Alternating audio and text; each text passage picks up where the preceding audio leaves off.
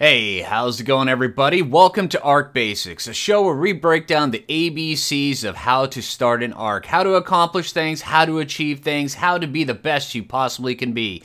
That's right, we're going with the full ABCs of Ark. A for Ark, B for Basics, C for, well, whatever you want it to be. C can be anything. Hey, how's it going, everybody? Welcome back to Ark Basics. I'm Phlinger Phoo, and today we're going to be discussing Ark's or natures or, you know what, the video games, uh, little air conditioner. That's right. We're going to be discussing the Dimetrodon. All right, now, uh, what you have to know about the Dimetrodon is, one, they're a pain in the butt to tame. Uh, two, they're a pain in the butt to tame. Three, they're a pain in the butt to tame. Okay, now these little guys right here. Now, the reason why they're such a pain in the butt to tame is the fact that their uh, torpor goes down super, super fast.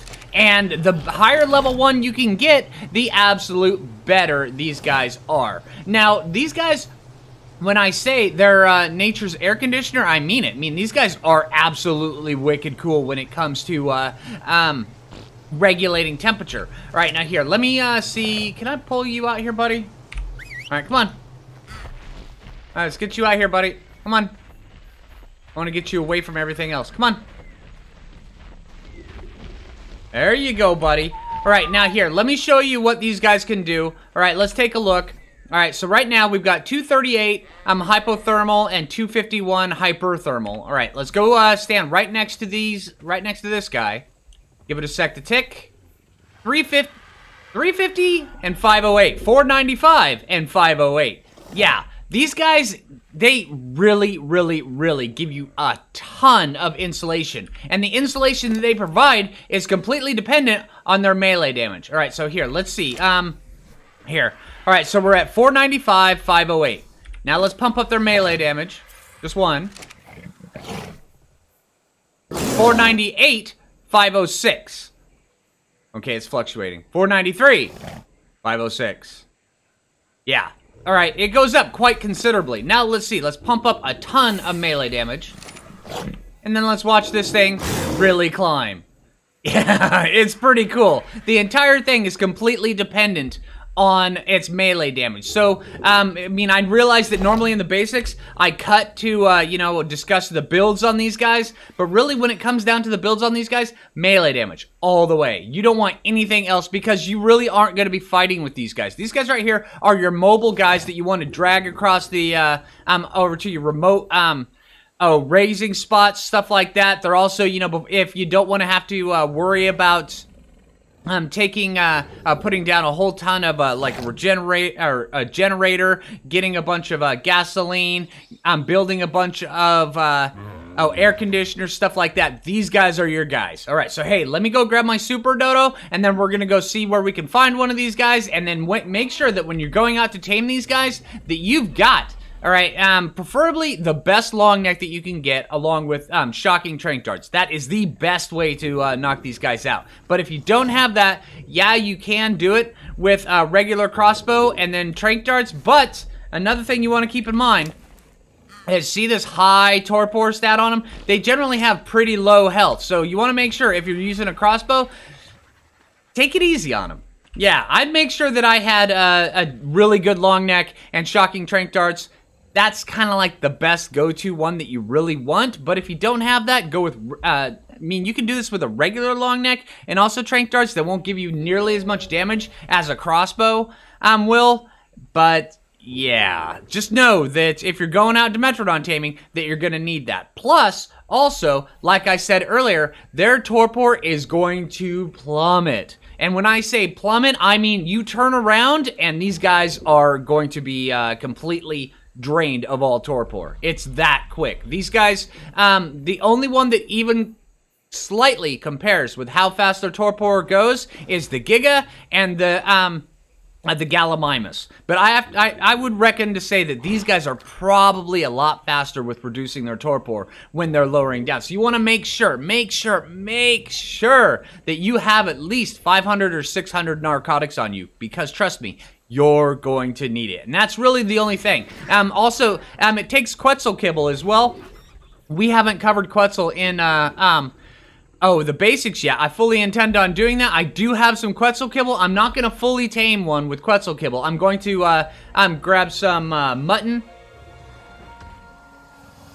that was weird. All right, I'm gonna grab some mutton. I'm gonna grab some prime meat. I'm, I think we're, what we're, I'm gonna try to do is see the differences between each one, just so you know exactly how much um, they get from each different one. And I'm pretty sure it's going to be pretty dramatic. So if you do have access to Quetzal Kibble, make sure you bring some with you. I'm not bringing a lot. I'm only bringing three uh, because I don't want to fully tame one up with Quetzal Kibble because I also want to see, you know, exactly what prime meat. Prime, the difference between prime meat and uh, Quetzal Kibble is the main one I want to look at because when you're going out and about, I mean, yeah, if you carry around mutton, yeah, it's kind of cool, yeah, but you know, it spoils.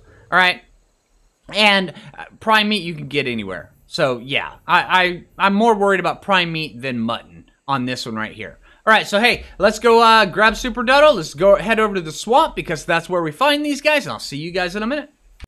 Alright, now the best spot to actually find these guys is over here on the uh, completely east side of the island. These are This is the spot that I've noticed is the best spot for finding um, Dimetrodons.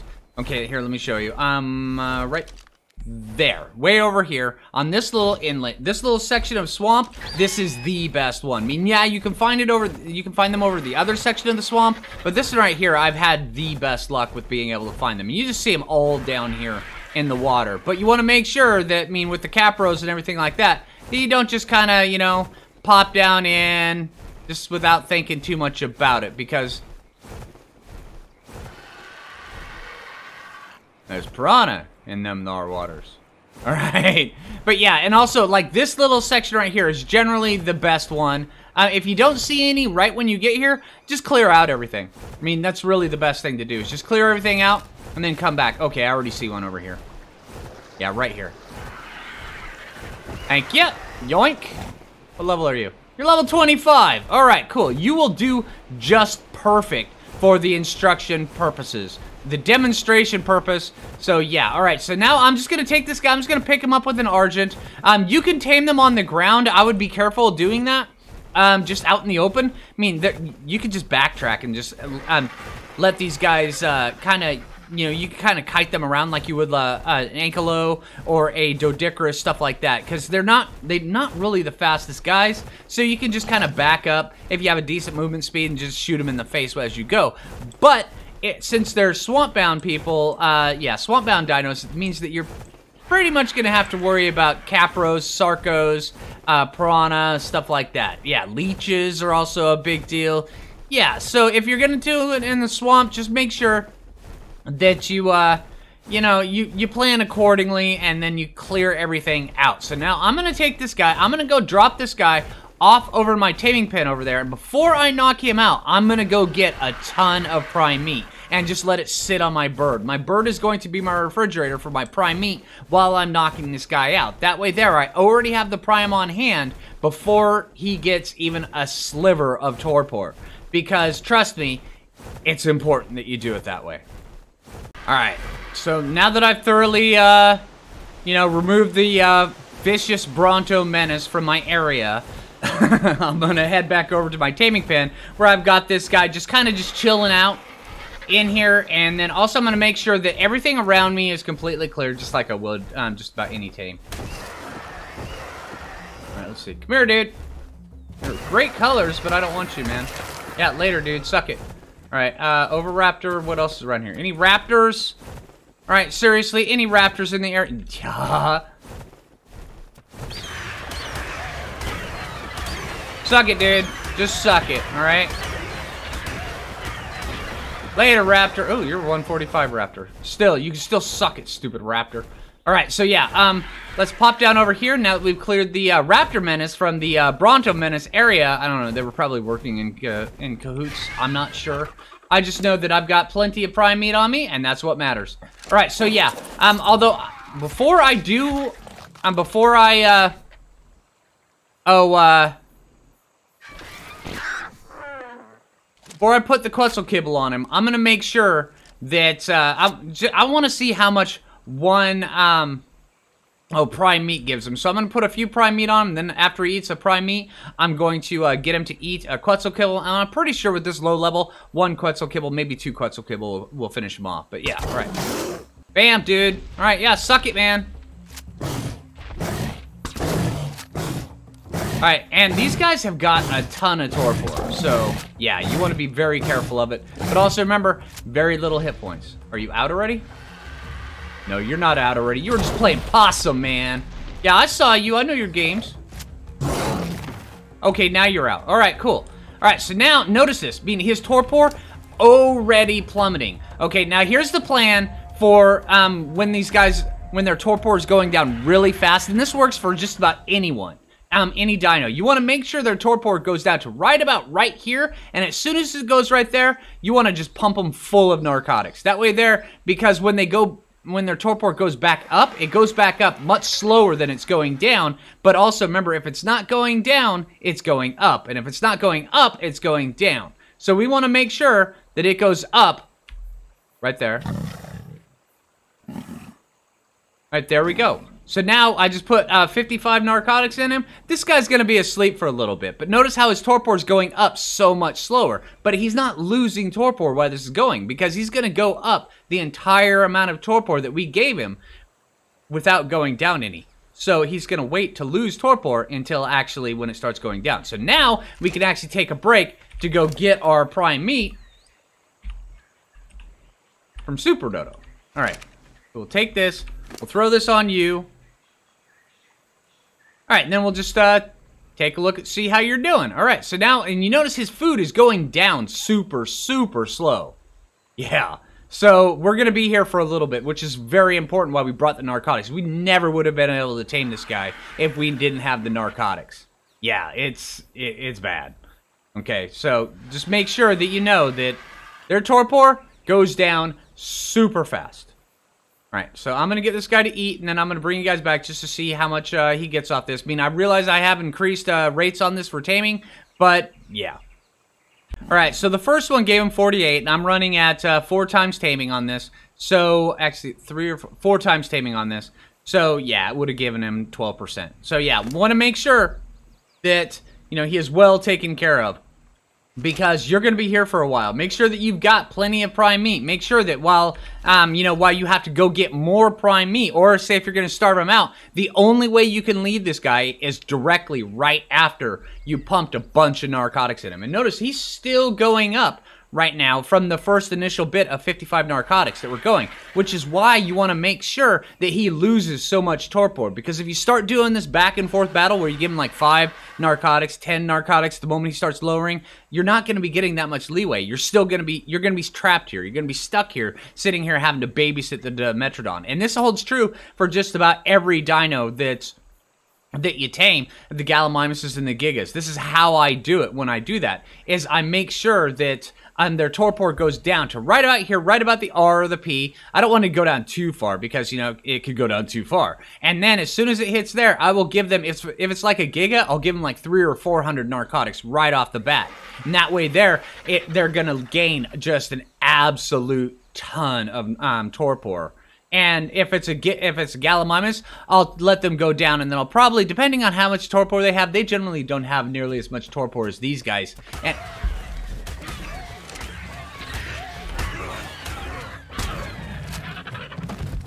Yeah, that's what you get, man! You serious? Suck it, Raptor. Right. so yeah, um, yeah, these guys don't um, normally, or Gallimimuses don't normally have nearly as much uh, um, torpor as these guys, or especially Gigas, which is why, you know, I'll, I'll let them go way down below, and then I'll give them probably about 20 or 30, maybe 40 narcotics to fill them all the way back up to full. You notice this guy right here, he's going back up to full with how many narcotics we gave them. Um, and he's going to start dropping here pretty soon, which is now is the time I really, really, really want to pay attention to him. All right, come on, buddy. All right, but yeah, he's going to eat one more time, and I just want to make sure that I let him ride out as much torpor as possible so I'm not wasting narcotics on him. And when I say riding out his torpor, all right, here, let me get out the old pointer. All right, when I say writing out his torpor, because his torpor is going to start plummeting super fast, and then his food is going down along with it. Yeah, um, the kibble's going to, it's like 70 food, which means he still has 24 more food. But while his torpor is plummeting down, I want to make sure that he's going to, um, that he, um, he'll eat before his torpor goes down.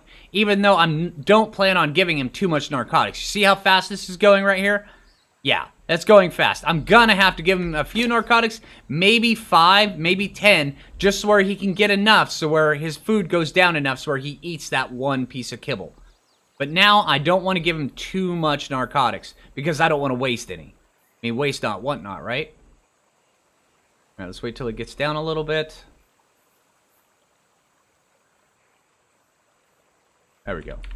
All right, there's 10. All right, now he's not going to get that much torpor. He's only going to get 750 torpor off of that. Uh, um, actually, he's not even going to get that. He's only going to get, uh, yeah, 350 torpor off that. So I want to pay very close attention that uh, uh, he's not going to, you know, his to- he's going to eat this before it starts going back down. Because if I'm not here ready to give him more um, narcotics, if I didn't time this just properly, then it, it everything's going to go bad, and he's going to get up and he's going to eat everything, plus the narcotics in his inventory, and then I'll have to knock him back out again, and everybody's going to have a bad day, and I don't like having a bad day. I'm pretty sure he doesn't want to have a bad day because if I have to shoot him in the face, it's gonna hurt because I mean he's only got 335 health, and I'm gonna shoot him in the face if it gets up.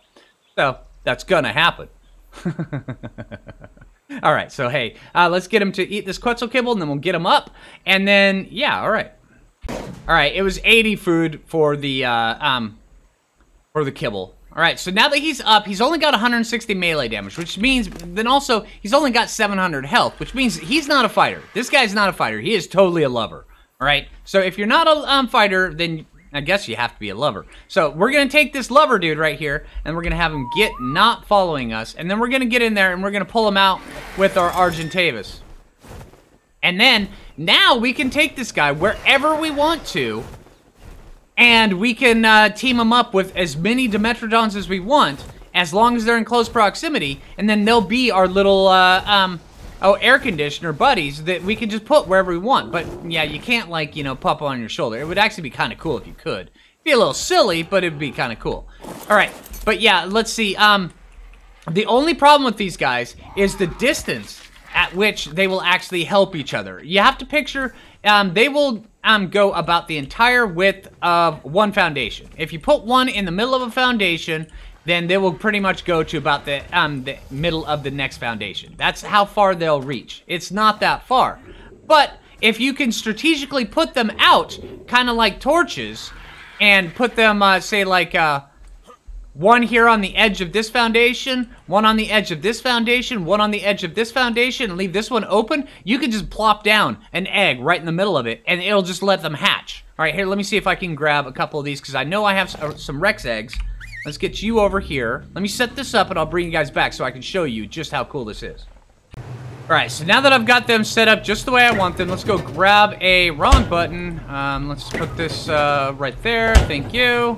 Uh, I think this is the one. Yeah, right here. I've got some Rex eggs right there. Bam. All right, so let's grab the Rex eggs and let's come over here. And also, you'll see that um, I was doing a bunch of experiments here with uh, Kairuku and then also uh, oh, Dimetrodons. Right, but see how I've got them set up just like this. And all you have to do is put their follow distance down on lowest and then just kind of come up in here and then uh, make sure that whenever they have levels, melee damage is the only one you give to them. That's it. So where they can be the best little uh, air conditioners they can. Right, now here you'll notice that now, right here in the middle of them, we've got 815 hypothermal insulation and 828 hyperthermal. Yeah, it, it's all cumulative. It's great. It works out so well. All right, so let's pop these, this guy right here down. Wrong button. Actually, it was the right button. I was just really bad at doing it. All right, so now it's freely incubating right here. It's just chilling out right here on the ground, and we're going to have a baby Rex egg this way. All right, I'm not going to hatch that, but yeah, this is easily one of the better ways of uh, um, taking and hatching dinos without having to build all the extra stuff, without having to grab the polymer, without having to grab the metal, anything like that. You can just easily and quickly um, move to a spot. Say if you were um, breeding Rexes for boss fights, you could just move these guys over um, around over there, hatch the stuff right there. You'd never have to worry about it. And also say uh, for the uh, um, Overseer fights up there, and just about anywhere else on the maps, on Ragnarok, on the island, on the center, any place like that. It's really effective. They also have these down in uh, Aberration, but in order to get the ones in Aberration, you kind of have to do the... You have to go grab a crab, go down, grab it, and then bring it back up. That's it's kind of a pain, but it's fully 100% doable, which is very, very cool. All right, so hey, if I hope well, I think that's gonna do it for all the video, um, um, the basics on the Dimetrodon. So hey, if you liked the video, if it helped you out, make sure you click that like button. I really appreciate that. And uh, if you're new around here, subscribe. I do Soloing the Ark, I do basics, I do all sorts of weird, wacky stuff on YouTube with Arcs Ark Survival Evolved and other games. Yeah, all right. So hey, until next time, this is Phlinger Phoo. Take it easy, everybody.